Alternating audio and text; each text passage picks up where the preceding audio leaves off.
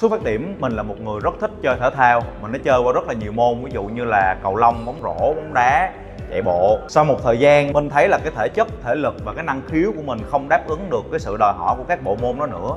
Một phần cũng là do cái chấn thương ở chân mà mình gặp phải. Cho nên là thôi thì tạm ngưng lại quá trình thi đấu. Thì cái lúc đó mình nghĩ là chắc là con đường thể thao chừa mình ra rồi.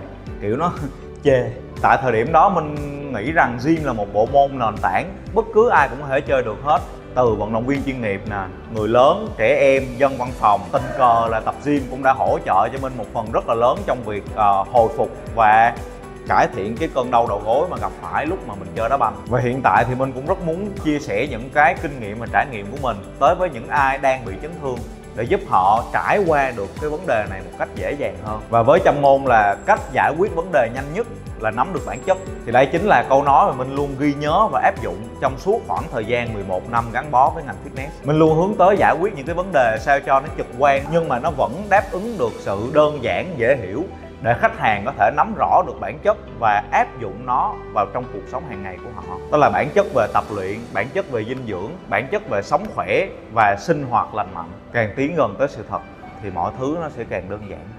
Sự thật là vậy mà.